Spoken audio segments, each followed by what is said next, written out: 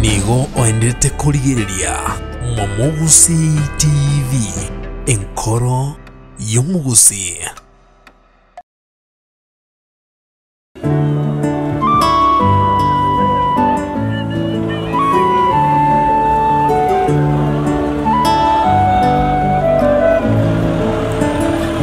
Katika dunia hii watu wengi hujisifia kwa cheo na mali walivyo navyo, ndiyo tabia ya mwanadamu. Maisha ya mwanadamu ni mafupi mno. Asubuhi yachanua kama maua, tena yananyauka. Mtu angejua siku yake ya kutoka duniani angetuarifu, na sisi hatungeona shaka katika kufariki kwa mtu duniani, bali tungejua siku yake imewadia, ingekuwa ni kawaida. Kifo tangu zamani kilikuwepo, na leo kifo kipo na kitakuwepo milele. Walio wafu hawajui lolote, msilie huko walikokwenda.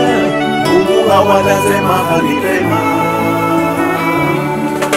wakiisubiri siku ya ufufuo, Yesu atakaporudi mara ya pili.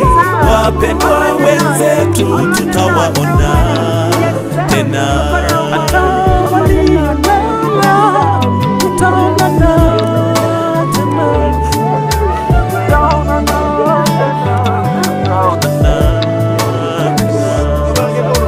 Baada ya kifo, familia zinabaki na huzuni, mayatima na wajane wamefurika, wamejaza dunia.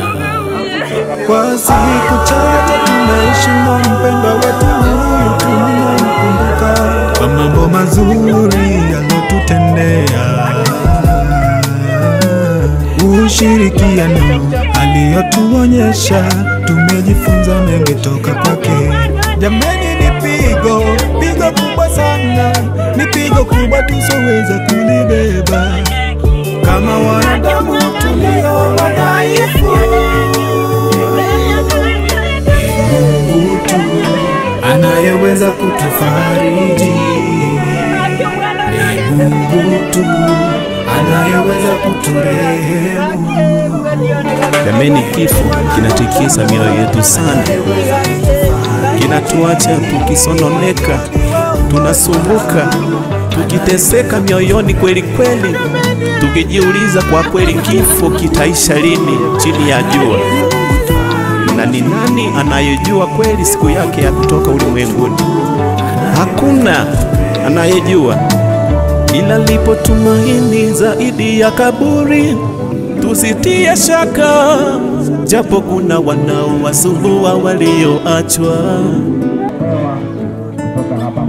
Maisha ni magumu ya kuwa yatima, ya kuwa mjane. Fikiri kama wewe ungekuwa yatima au mjane, hauna mtu wa kukusaidia, ingekuwaje? Ingekuwaje? E Baba Mungu mwenye enzi, e Baba wa mayatima na wajane, shuka na malaika wako ukafariji familia. Walio wafu hawajui lolote, tusilie huko walikokwenda. Mungu awalaze mahali pema. wakiisubiri siku ya ufufuo, Yesu atakaporudi mara ya pili.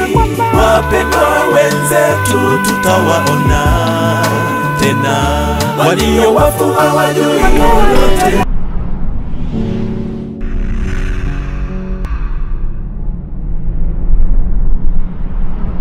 Kwa kuchagua chaneli yetu ya Mwamogusi TV ili uwe wa kwanza kutazama vipindi vyetu pindi tunapokuja hewani. Subscribe, like and comment, na usikose kuguza alama ya kengele.